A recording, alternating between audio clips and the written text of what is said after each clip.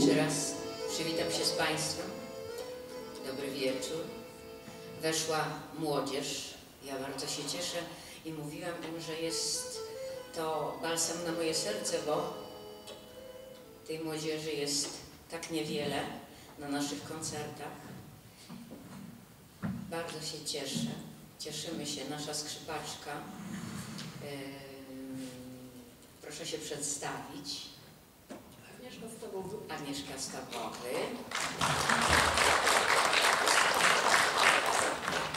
Yy, Jacek, nie wiem jak go przedstawić, multiinstrumentalista, jakbyśmy tak powiedzieli. Yy, Nazwisko Jacka, to proszę. Mielcarek. Mielcarek.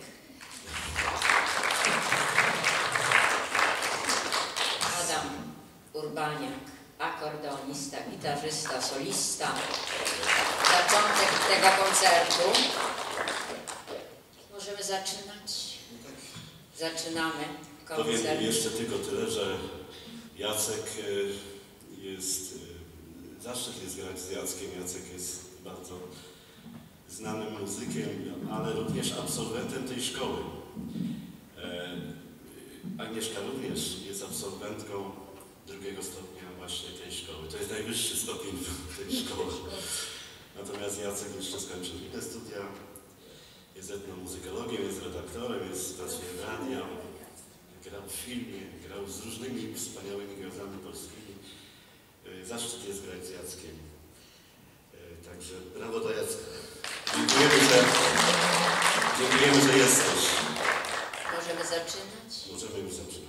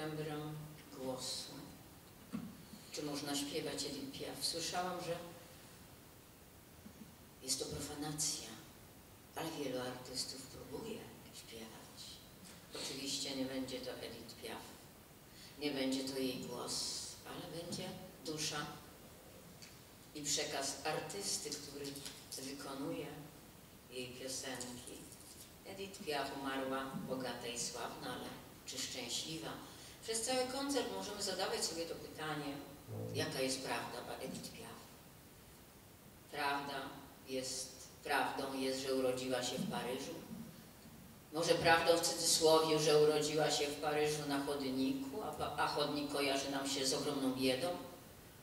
Urodziła się w rodzinie, w rodzinie cyrkowca alkoholika, nikt jej nie chciał, nikt jej nie kochał, nikt nie czekał na nią, nikt nie witał po urodzeniu. Oddano ją do babki alkoholiczki, która bardzo się cieszyła, bo brała to bołek z dzieckiem, kładła na ulicy i nikt nie przyszedł obojętnie, żeby nie wrzucić pieniążka Ponoć nawet babka poiła Edith alkoholem, żeby zaoszczędzić na mleku.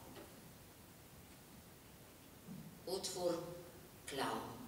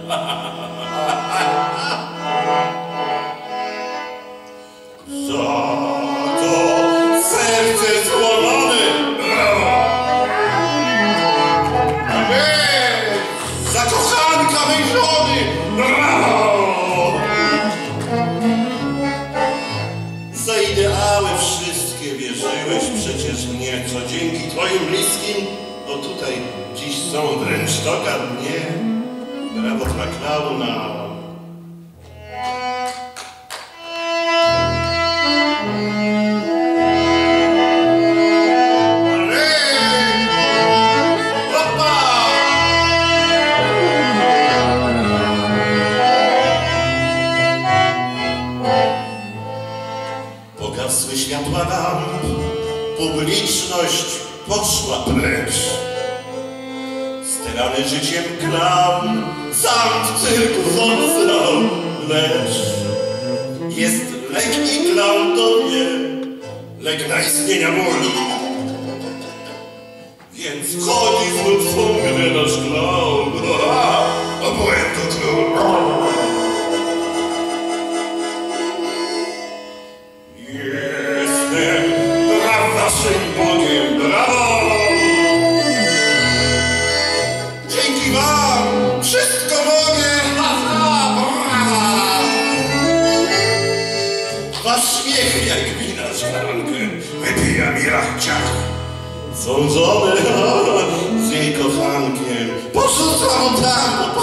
Popatrzcie tam, pod sam dach. Brawo dla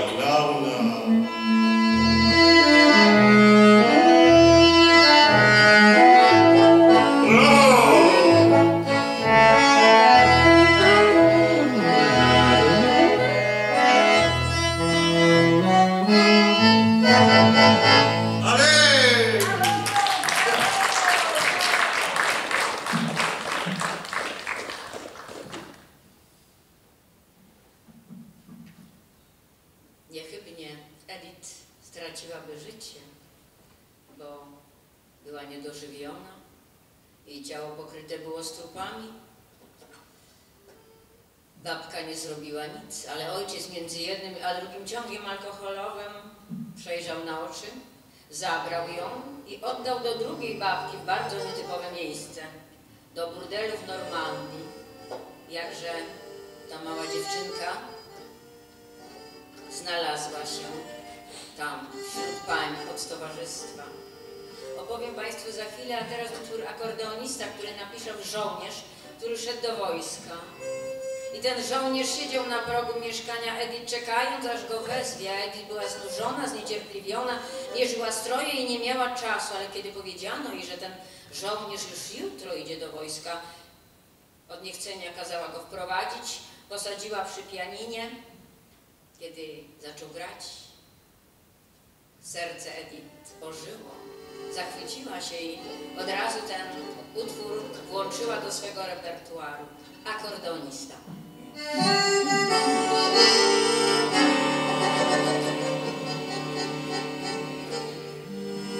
Sprzedajna, śliczna panna ulicy szlifuje bruk.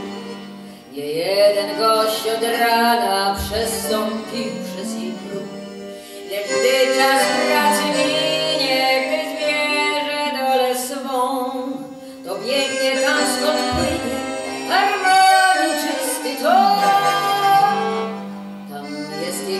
jej port, jej lek, co leczy z ran. Jej akordeonista, co gra do tańca. Znowu brzmi piosenka ta, akordeon ją gra, melodyjka już płynie świat czysta. Biedne serce już drży, bo spełniają się sny, bo i facet to przecież artysta. Ona patrzy jak on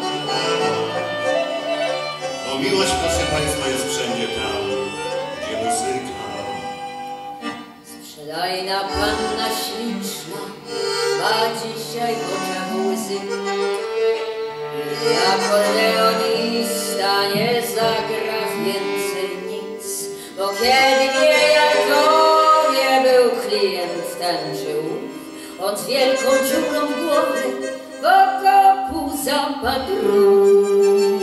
Lecz akordeon przecież nie będzie w kącie stać, artystów nie brać w świecie, co też potrafią grać.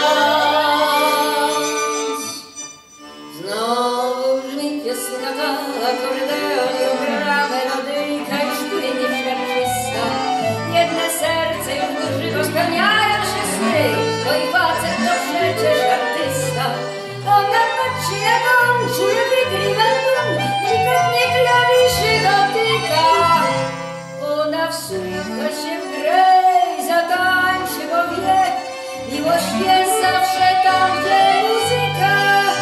La, la, la, la, la, la, la, la.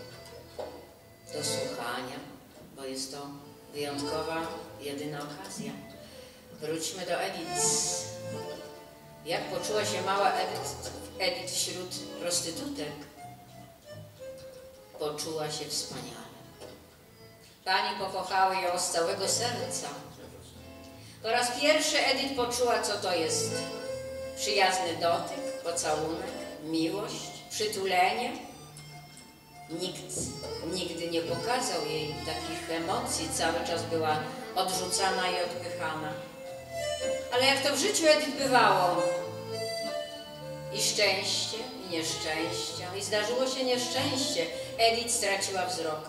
Panie bardzo się przejęły. Składały się na lekarza.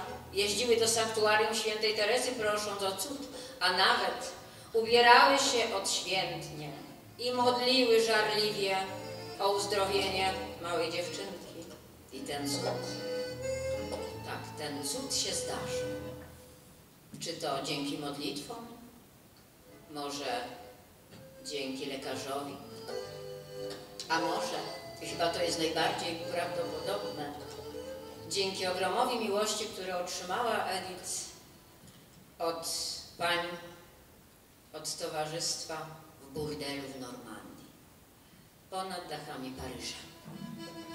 Państwo śpiewają z nami.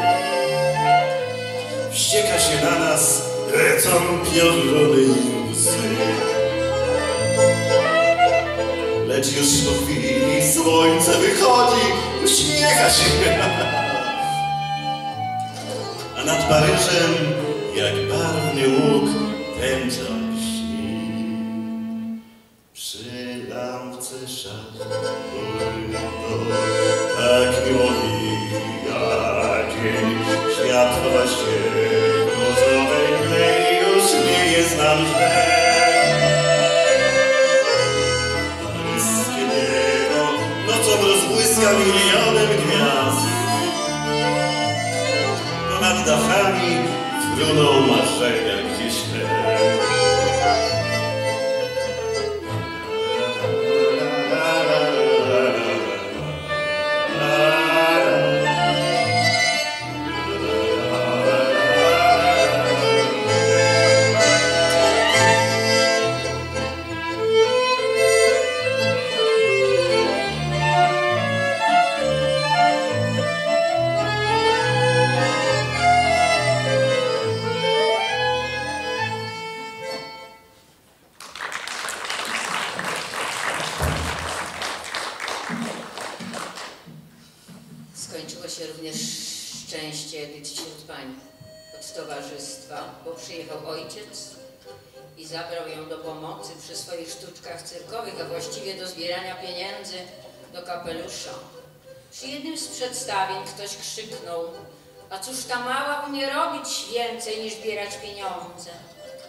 Konsternacja. Ktoś odpowiedział, to niech zaśpiewa. I Edith spróbowała zaśpiewać Marsyliankę. Zrobiła to doskonale, poczuła się wspaniale, poczuła, że ma w sobie pewną wartość jej, którą może wykorzystać, że jest coś warta. Kiedy miała 15 lat, wróciła na paryskie ulice. I cóż ją tam czekało? Bieda, Alfons, który musiał mieć pieniądze niezależnie od tego, czy ona zarabiała, czy nie. Żeby nie zostać prostytutką, zaczęła śpiewać. I tam usłyszał ją Louis Leple. Zaprosił ją na debiut do swego kabaretu. Edith była przeszczęśliwa, ale cóż, nie miała się w co ubrać.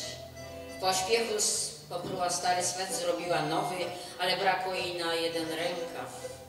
Zakryła chustą ramiona i pobiegła. Nikt nie patrzył, jak wygląda. Chusta spadła na podłogę, a Edith śpiewała. Wszyscy byli zachwyceni. No i Edith była przeszczęśliwa, bo dostała pracę. W kabarecie Louis Leple miała własne pieniądze i przyjęła pseudonim La Piaf, Rubele. Myślę, że był to jeden z najszczęśliwszych momentów jej życia. Kochankowie jednego dnia.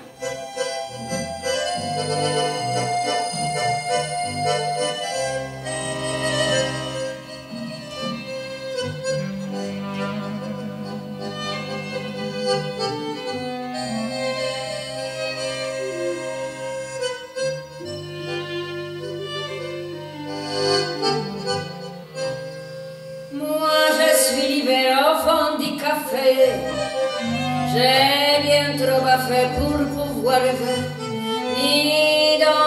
décobane n'a pleuré. Il me semble encore les.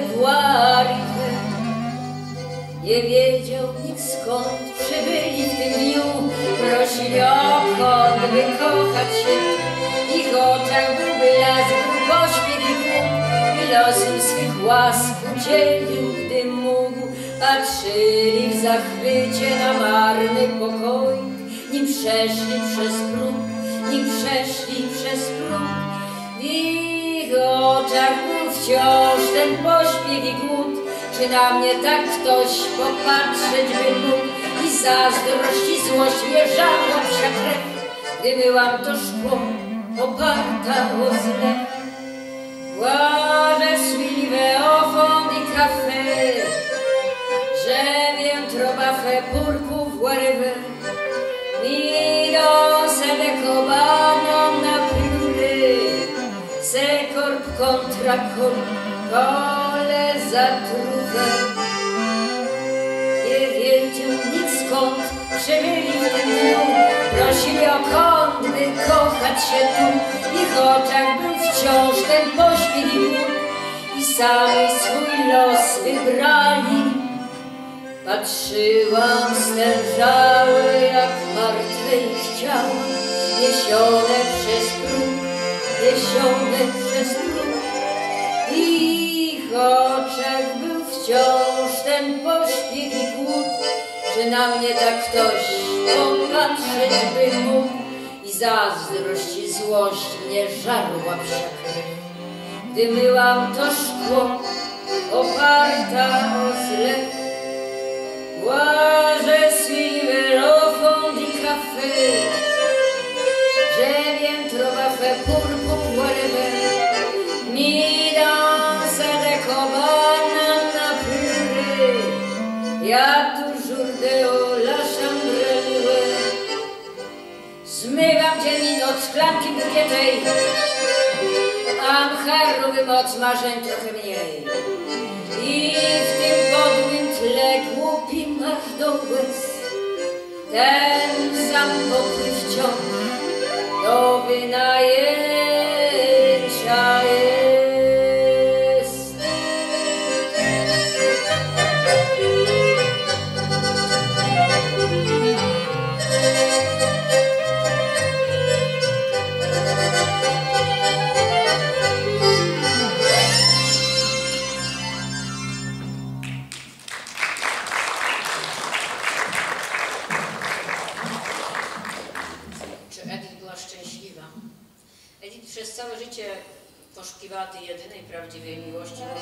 ta trauma z dzieciństwa odrzucenia dawała znać o sobie. Miała wiele kochanków, mężów. I swoje niepowodzenia topiła często w alkoholu, w używkach. Myślę, że była bardziej nieszczęśliwa niż szczęśliwa, bo okazuje się, że nawet pieniądze nie dają pełnego szczęścia. Jednym z jej kochanków był motocyklista. I tak jak to w życiu Edith bywało, znowu powtórzę, zdradził ją i porzucił. Cóż robi odrzucona kobieta? Pisze piosenkę, gdzie szykuje swemu byłemu kochankowi bardzo tragiczny los. Pewien słuchacz na naszym koncercie powiedział, że był w Paryżu i ponoć koło wieży Eiffla stoi kawiarenka, gdzie Edith spotykała się ze swoim kochankiem motocyklistą że jeżeli będziecie Państwo w Paryżu i będziecie chodzić drogami, którymi chodziła Edith, to zapraszam to sprawdzić, czy jest to prawdą. A motocyklista niczym się nie różni od współczesnego, jest szaleństwo w oczach i wiatr we włosach. Motocyklista w aranżacji mojego męża.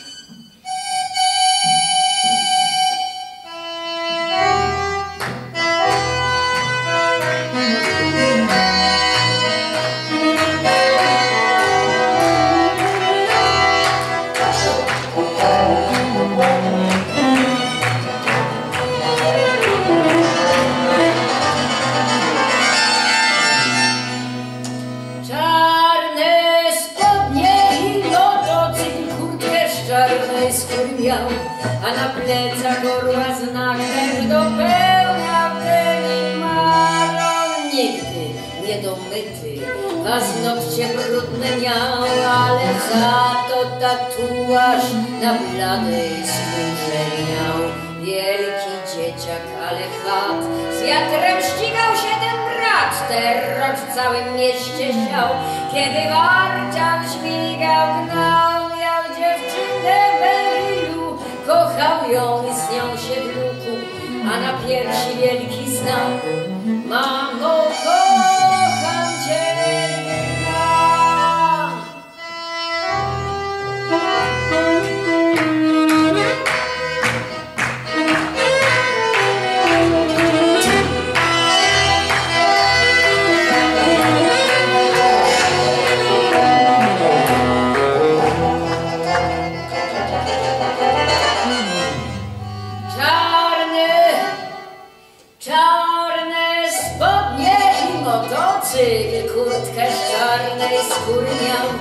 na plecach orła znak ten dopełniał ten i masz.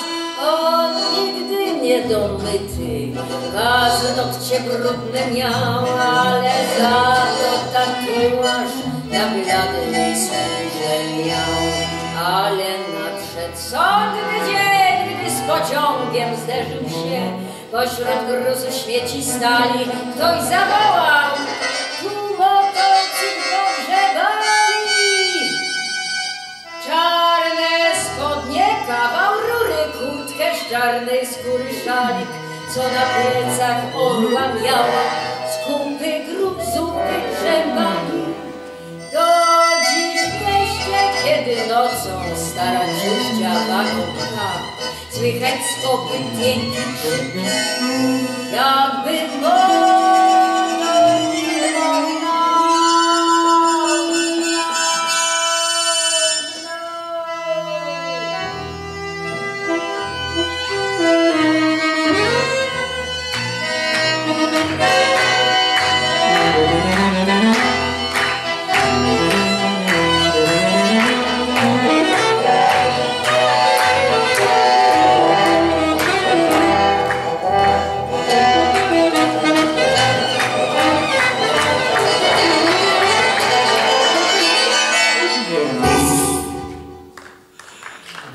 Bez szans ten motocyklista był wtedy i dzisiaj również z pociągu nie miał szans.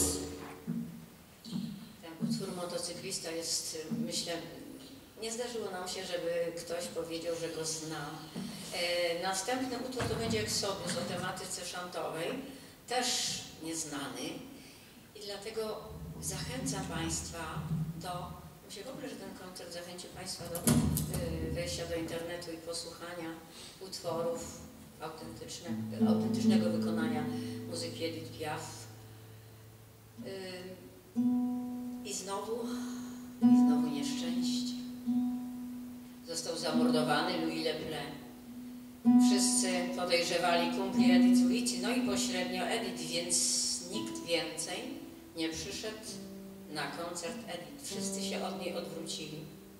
Edith musiała wrócić do starej knajpy, do starych używek i niechy- niechybnie zakończyłaby życie, bo zdrowia nie miała, gdyby nie jej wielbiciel Raymond Dassault, pisarz, który postawił wszystko na jedną szalę. Chciał jeszcze raz sprawdzić, czy Edith osiągnie szczyt, czy spadnie całkowicie na dno.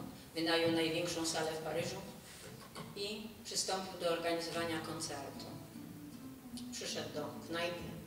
Piano Edith wyciągnął dosłownie za rękę i praca nad wyglądem, prosta czarna suknia, gestykulacja, granie dłońmi, dykcja. Edith buntowała się, nie chciała. Była przerażona, kiedy na przeddzień koncertu na siłę wepchano ją na scenę. Kiedy zobaczyła tłumy ludzi i teatr wypełniony po brzegi, kiedy zaczęła śpiewać z małego wróbelka, zmieniła się, może powiem inaczej, zmieniała się przez lata we wspaniałą, wielką artystkę. Najpierw francuską, europejską, a potem światową. Wielką artystkę Edith Piaf. Chanta Exodus. Proszę Państwa, jako już wszyscy wiemy, że tutaj obok e, ocean mamy w sąsiedztwie, więc wypływamy, wypływamy po skarb dla naszych pań. No zobaczymy, czy nam się uda ten skarb przywieźć i wrócić w zdrowiu. Proszę Państwa, poproszę o pomoc y, marynarzy, ale też żony marynarzy, żeby nam pośpiewały tą szantę razem. Refren jest bardzo prosty, bardzo prosty jest. Trzy i cztery i hop. I to jest la jeszcze do tego dla Pani. No to spróbujemy.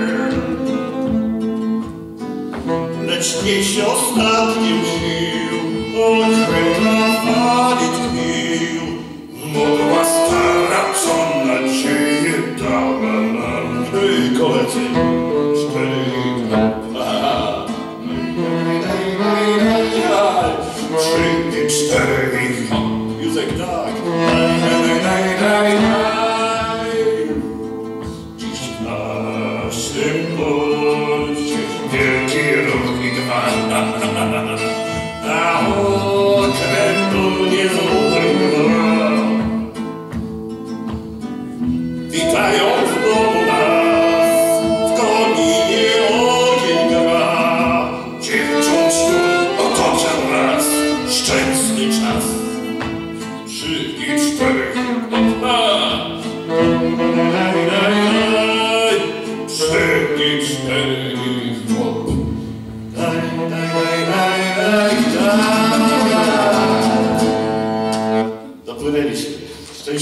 Szczęśliwi cali i ze skarbem.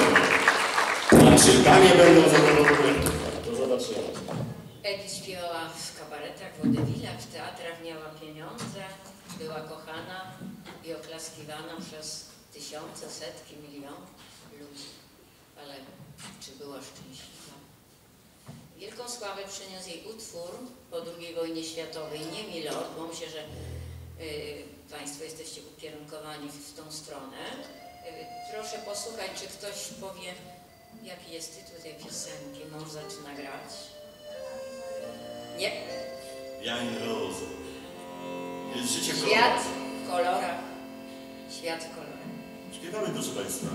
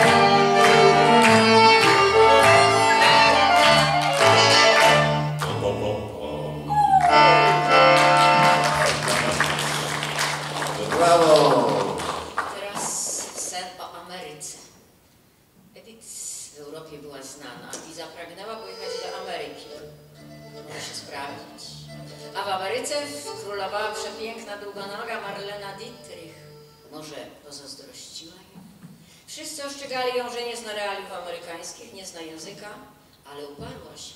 Przygotowała dwie piosenki po angielsku, Strój promocyjny na zdjęcie promocyjne kosztował 230 tysięcy franków.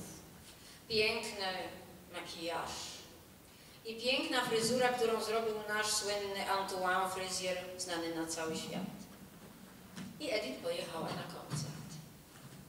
Amerykanie są bardzo wymagający. Tak jak płaszcze chcą zostawić swoje problemy w szatni, i odpocząć na koncercie. Na scenę weszła mała, chuda, brzydka, na czarno ubrana kobieta. Gdzie podziała się ta piękna dama z, z księżniczka z portretu. Właściwie to nie musiała nic śpiewać, bo kojarzyła się z szarą rzeczywistością, ale Edith zaśpiewała swoje piosenki, te po angielsku. Pewien pan po koncercie może chciał ją pocieszyć. Dobrze pani śpiewała po włosku. Edith była zdruzgotana, Amerykanie rozczarowani, ale Edith doskonale tą lekcję amerykańską odrobiła. Za chwilę Państwu opowiem o tym, a teraz piosenka Tłum.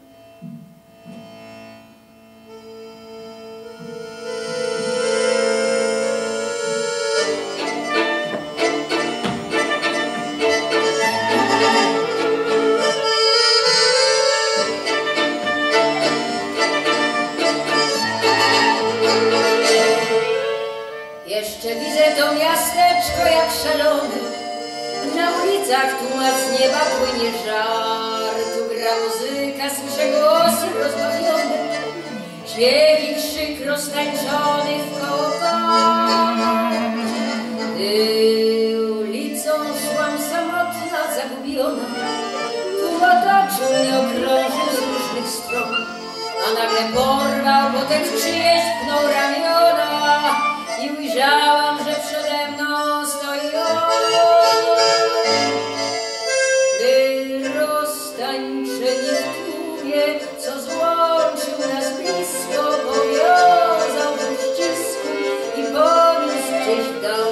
Pośrodku fali, która porywa nagle wszystko, roztańczeni, rozmarzeni on i ja. My roztańczeni w tłumie, tu objęciu przytuleni, tak krążyliśmy nad ziemią, faralony niósł nasz głos. Tylko my, nagłym szczęściem upojeni, patrzeli w siebie, połączeni w jedno ja.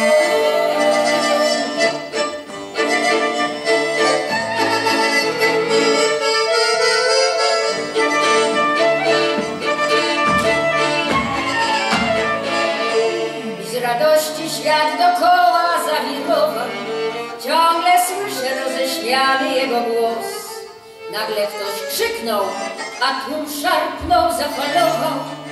Ruszył w przód i z moich ramion wyrwał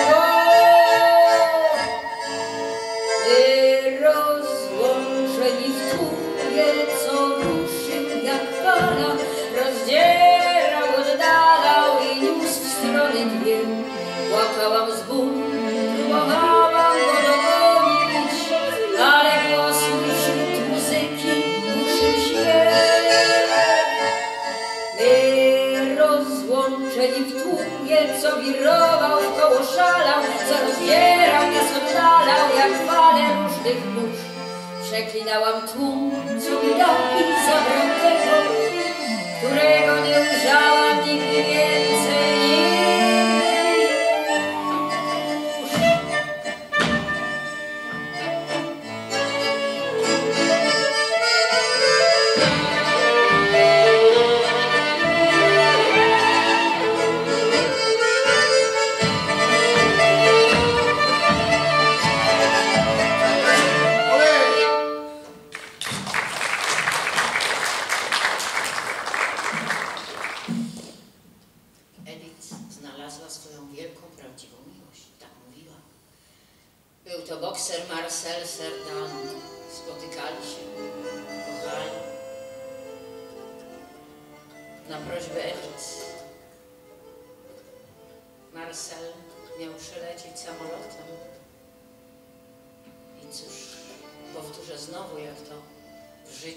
bywało, tragedia. Samolot się rozbił. Elit przeżyła śmierć kochanka. Ogromną. Tym bardziej, że miała poczucie winy, bo to na jej prośbę leciał tym samolotem. Przez dobrych kilka lat Edith dochodziła do siebie. Boże mój, hymn miłości.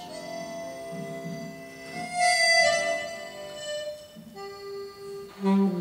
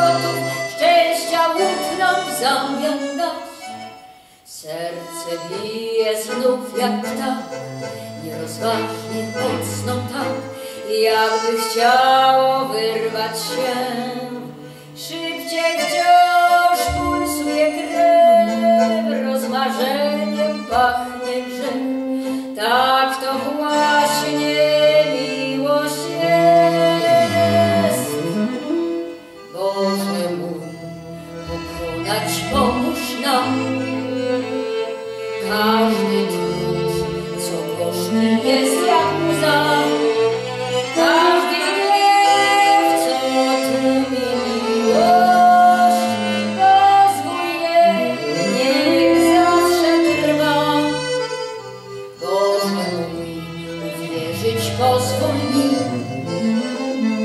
Radość, co wypełnia nasze dni.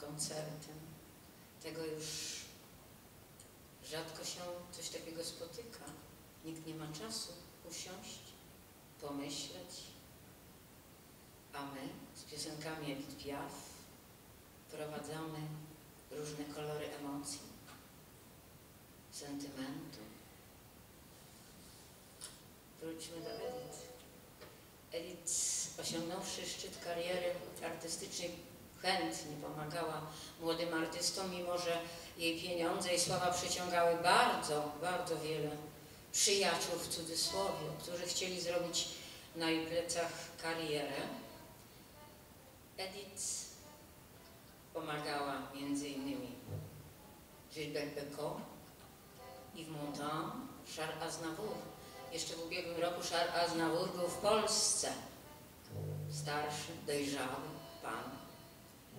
E, Był to jeden z nielicznych prawdziwych przyjaciół Edith, który pisał, nie, to co pisał powiem za chwilę, a teraz powiem o Georges Moustaki, które, o którym mówiła Edith, że jest uroczy, zmysłowy i gniewny, ale bardzo, bardzo skromny.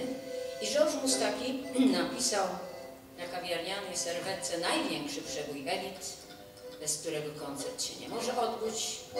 Milo! Milo!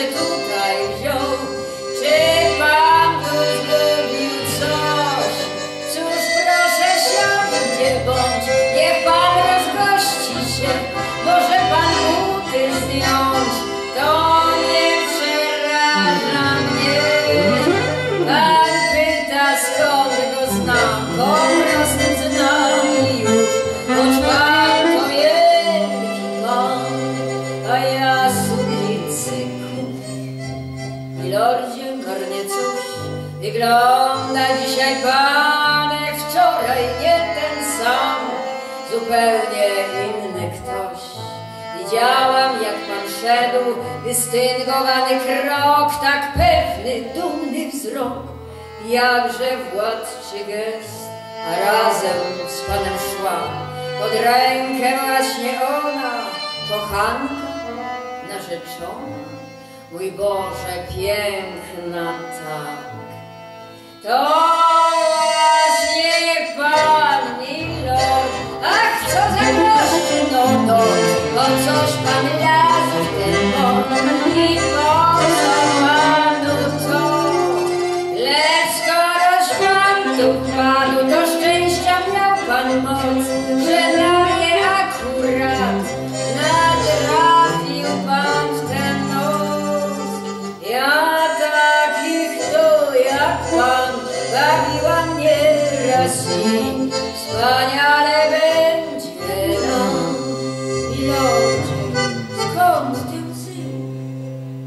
Milordzie, no cóż, milordzie, no proszę przestać, niech pan się uśmiechnie, milordzie, jeszcze troszeczkę, tak, tak, milordzie, proszę, trzeba się śmiać, brawo, trzeba się śmiać, niech pan ze mną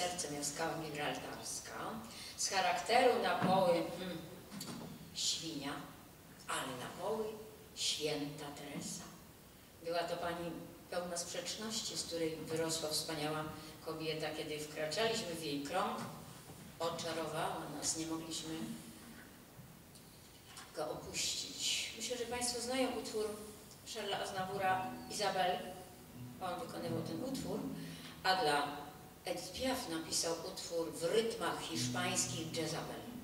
Kiedy śpiewam ten utwór, zawsze powtarzam, że próbuję śpiewać w tych rytmach hiszpańskich. Jezabel,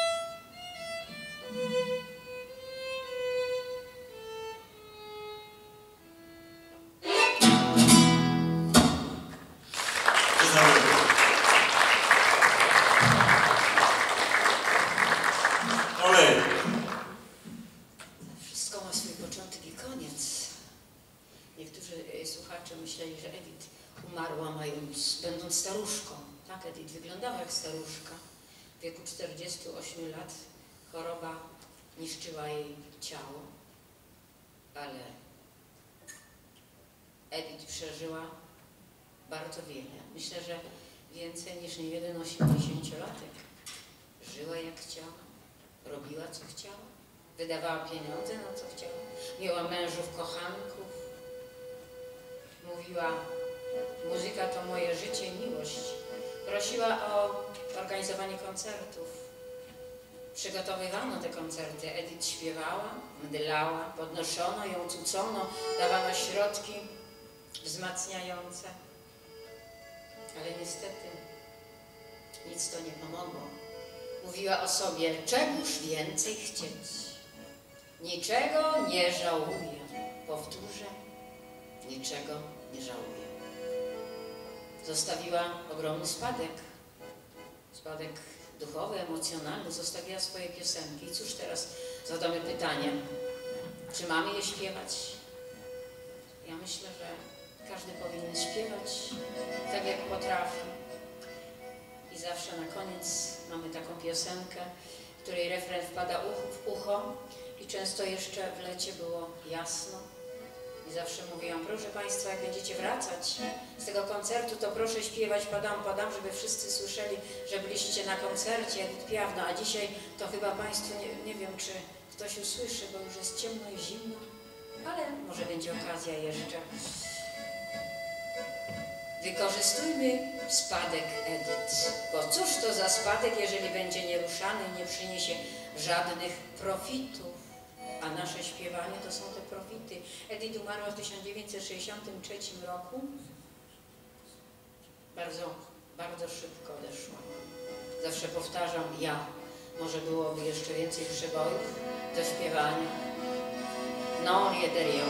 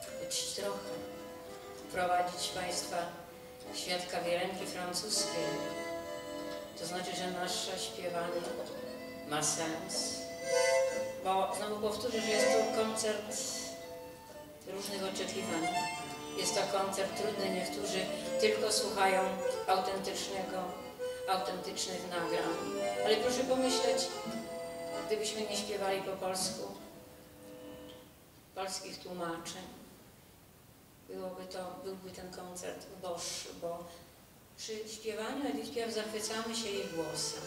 Nie wiemy, o czym śpiewa, często chyba, że znamy francuski. A tutaj zachwycamy się ciągiem zdarzeń, które są prezentowane. Proszę Państwa, ja się tak pocieszę, bo nie wiem, co Państwo myślicie, czy wyjdziecie zadowoleni, czy może widzicie, jak ja to powtarzam, tak na zero, a może niezadowoleni. Ale liczę się z różnymi opiniami. I jak tu stoję na tej scenie, bardzo ciężko jest mnie tu wypchać. Mój mąż mnie ciągle wypycha, tak jak ten Raymond Dasso wypchał Edith na tą scenę. To wydaje mi się, że wszystko ma sens i, że trzeba, trzeba to robić trzeba śpiewać. A czy warto Państwa, wypychać żonę na tą scenę? E, e, to takie osobiste teraz było. Ja tylko chciałem powiedzieć, dziękuję uprzejmie, że mamy płytkę nagraną niedawno w Radiu Opolu. Yy, Ona kosztuje 20 zł. Jeżeli ktoś ma ochotę, to zapraszamy.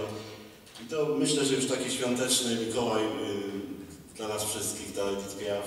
ja myślę, że będzie to y, dobry prezent dla kogoś, kto lubi taką muzykę. Y, Więc zapraszamy Państwa po koncercie. A teraz oczywiście obiecany bis. Ja powiem, nie czekamy, proszę Sami Państwa, ubrali. Państwo Ale bardzo dziękuję, że wytrzymaliście. E, Nawet ta mała dziewczynka tutaj e, nie zasnęła, biegała, to sobie pomyślałam, a to dorośli są bardziej wytrzymali, więc wytrzymają te różne nastroje. E, Więc padam, padam, Państwo zaśpiewacie ze mną. Dobrze? Na I koniec. dziewczynka będzie krzyczała brawo, bo tak krzyczała. Krzyczała brawo. No świetnie, bardzo Ci dziękuję, wiesz?